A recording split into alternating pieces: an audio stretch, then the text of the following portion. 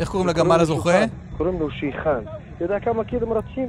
קילומטר? תלוי, זה מ-10 קילו עד 15 קילומטר זה רצים. כן, הרוב מאוד. מה מקבל המקום הראשון? קבל פרס כסף, סכום. תלוי כמה שמים בהתחלה. אה, כל אחד שם, כל אחד מהשמונה שם שם כסף והמנצח לוקח את הכל.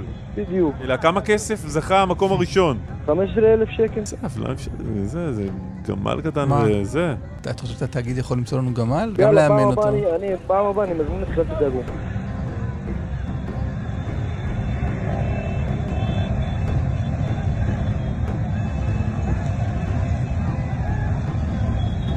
כמה גמלים השתתפו במרוץ הזה? תצטרף כמעט שמונה גמלים. שמונה גמלים, כן. אבל זה תלוי כמה אנשים שהם רוצים להצטרף. כמה עולה גמל כזה? תלוי איזה, מאבא, מאמא.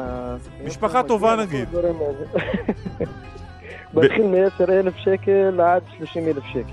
אה. לא הרבה כסף. הרכבים והגמלים משתתפים באותה תחרות, או שהרכבים לא. מלווים את הגמלים? מלווים את הגמלים.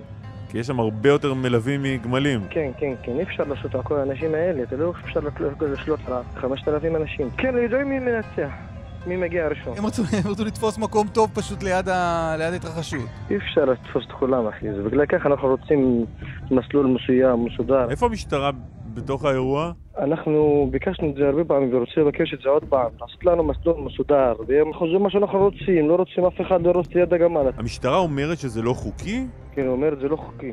למה? לא יודע, סוסים יש להם את כל הדברים האלה, מסלולים ודברים האלה. המשטרה אומרת שזה לא חוקי, אבל לא יתערבו לכם בתחרות. לא, לא תערבו. זה גם לא הפריע לכם לקיים את התחרות. כן, אנחנו באמת שאנחנו רוצים מסלול מסודר כמו שבסעודיה ערביה, בדובאי, של הגמלים, הכל, גדר. מתי המרוץ הבא? לפני כמה, עוד כמה חודשים, עדיין לא שמנו תאריך מסודר. אתה רואה? אז תקנה את הגמל, 30 אלף שקל כל שנה מהגמל. מישהו מבטיח לי זכייה? אתה, אתה, אתה ווינר, קלמן, תאמין בעצמך. אני ווינר, אבל הגמל, אני יודע מה גמל גם ווינר.